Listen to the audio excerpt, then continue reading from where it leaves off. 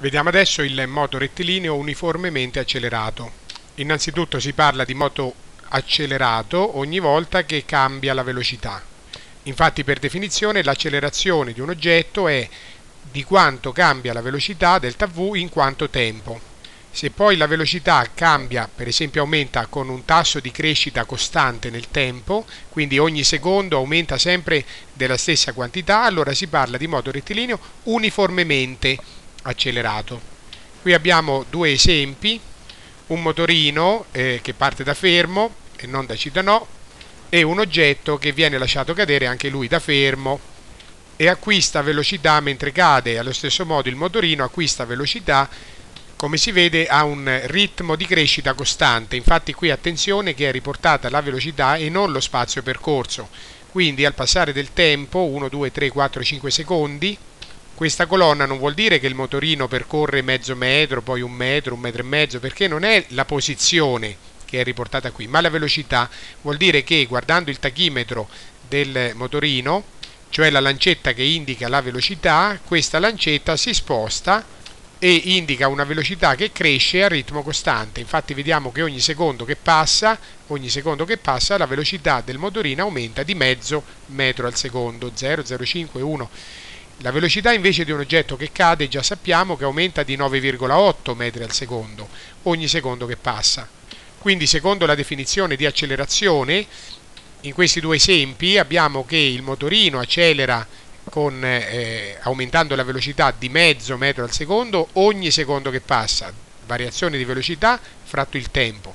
Invece l'oggetto che cade aumenta la velocità di 9,8 metri al secondo ogni secondo che passa e, e quindi l'accelerazione è mezzo metro al secondo quadrato oppure 9,8 metri al secondo quadrato.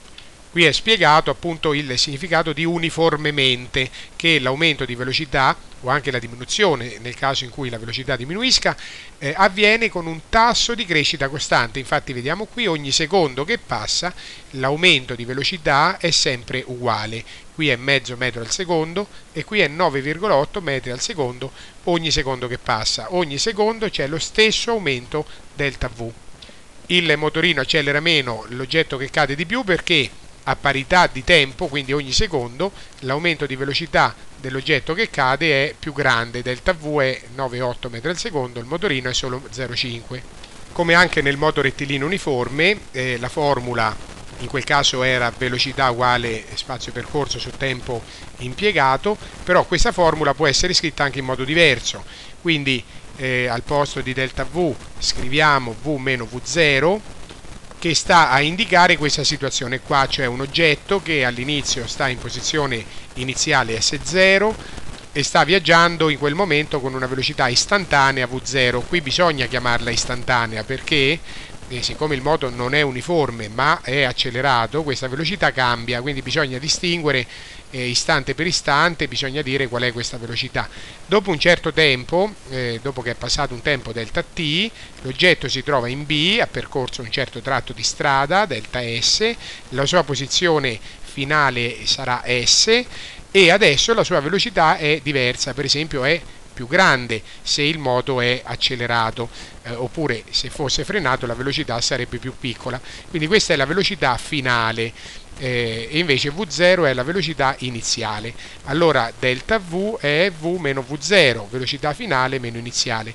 Ricaviamo la velocità finale e, e con eh, la formula inversa troviamo velocità finale uguale velocità iniziale più A per delta T questa non è una formula diversa dalla prima, è la stessa scritta in modo diverso, solo che mentre la eh, prima formulazione, la prima espressione è utile per calcolare l'accelerazione di un oggetto, e infatti l'abbiamo usata prima per calcolare per esempio l'accelerazione del motorino o dell'oggetto che cade, è utile per calcolare l'accelerazione perché eh, basta fare di quanto è cambiata la velocità in quanto tempo. Invece quest'altra chiamata legge oraria della velocità, è più pratica per calcolare quale sarà la velocità finale dell'oggetto, quindi questa qui, eh, conoscendo la velocità iniziale, la velocità che aveva l'oggetto all'inizio, conoscendo l'accelerazione e conoscendo eh, quanto tempo è trascorso.